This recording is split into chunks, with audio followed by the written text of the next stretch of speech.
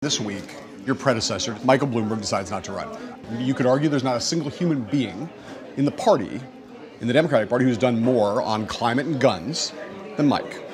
And yet, despite all of that, he, with all of his money and all of his political brains around him, all those people, Yeah. they all looked at the state of the Democratic Party right now and said, he has no chance to be the nominee. So, first of all, you think that's right?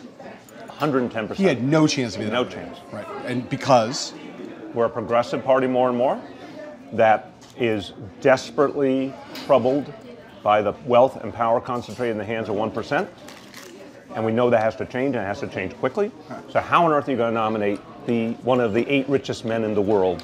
That is not someone who's going to change that reality. a plutocrat could not win. People are too serious about the need for change right now. Right. So he made the right decision. Absolutely.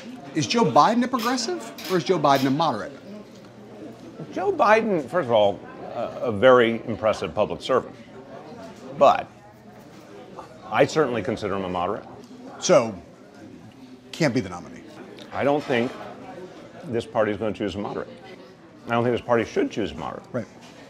If a moderate runs and wins, this very dangerous status quo will continue. We have an income inequality crisis that is dangerous and destabilizing. But you have a lot of respect for Joe Biden as a public servant, as you just 100%. said, right? But, 100%. But we can say sitting here at this table right now that Joe Biden would not win the de Blasio endorsement. He's a moderate. I, I have a You lot just- of you respect just- for you just him. told- you said he's a moderate. Look, I have a lot of respect for him, but if you say, what does this party need right now? It doesn't need a moderate. What does this country need right now? It doesn't need a moderate. And he's a moderate. And he's a moderate. Okay.